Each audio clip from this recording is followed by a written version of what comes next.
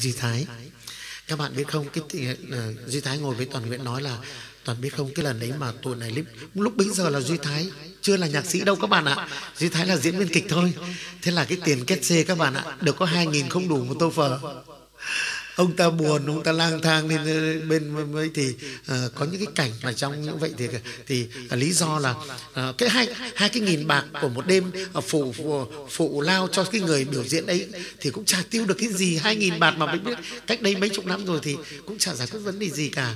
Thì ông cứ lang thang thì có lẽ ông lại ghé vào một cái quán nước trà chỉ đủ uống nước trà trà chát thôi chẳng hạn như vậy. À, duy thái kể với mình như vậy. Và trong đêm mưa đấy thì duy thái có một cái xúc cảm và hôm nay các bạn nghe nhạc phẩm Phố vắng của nhạc sĩ Duy Thái.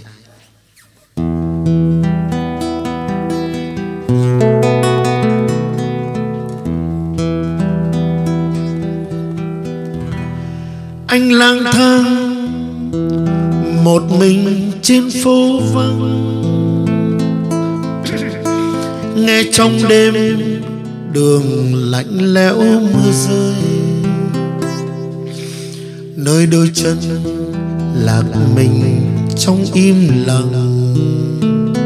Tình yêu ơi từ nơi em bỗng nói, anh lang thang một mình trên phố vắng, nghe trong đêm đường lạnh lẽo sương rơi nơi đôi chân cùng với bao tháng ngày.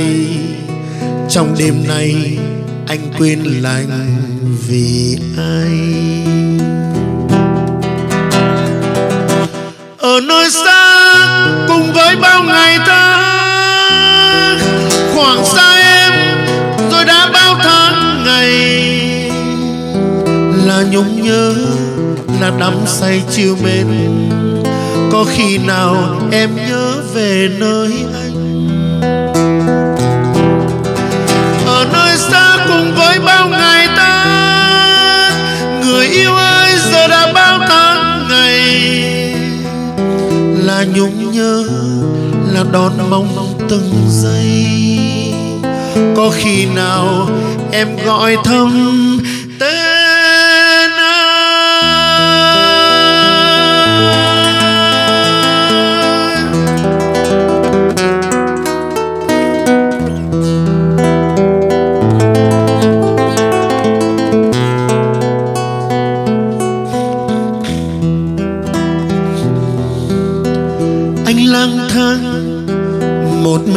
trên phố vắng. Nghe trong đêm đường lạnh lẽo sương rơi. Nơi đôi chân lạc mình trong im lặng.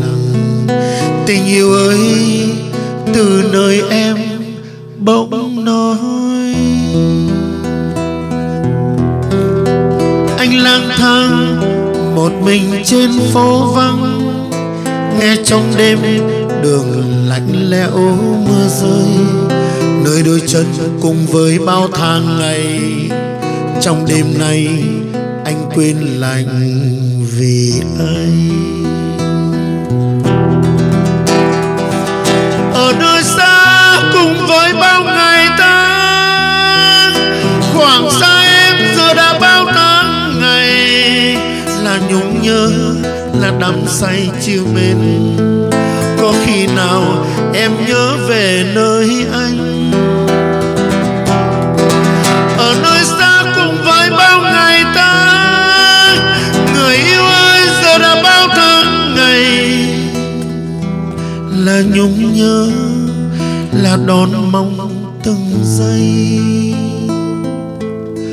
Có khi nào em gọi thăm